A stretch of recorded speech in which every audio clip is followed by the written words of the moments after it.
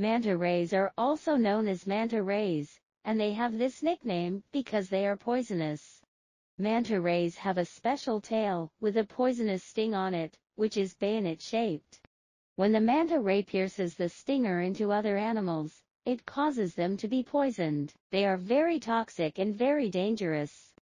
So if you want to raise them, you must be very careful Don or mantis poisonous.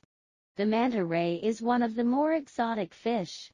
From the appearance, they are quite different from other fish.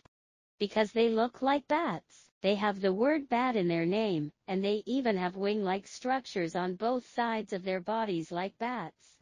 Their teeth are very powerful and can grind many things, even very hard things, will be ground by their teeth. Manta rays are also known as manta rays because they are poisonous.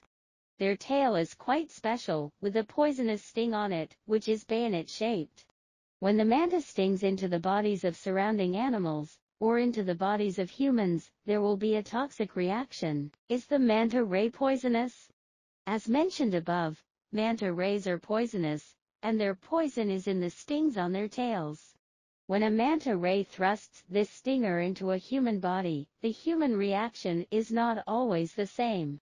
But generally speaking, the reaction will be more obvious, because the toxicity of manta rays is still relatively large. Sometimes human beings will have symptoms of blackening and whitening, sometimes confusion, dizziness, chills and other symptoms, and mild symptoms such as swelling, pain and so on. Even if the stinger is pulled out at this time, the toxicity will not be weakened, and the skin may be necrotic, and fall off. Therefore, after being stabbed by manta rays, they must be treated in time, and the thorns pulled out should be burned in time to avoid their harm. If you want to breed manta rays artificially, you can dispose of the spines on their tails before breeding, so as to avoid accidents.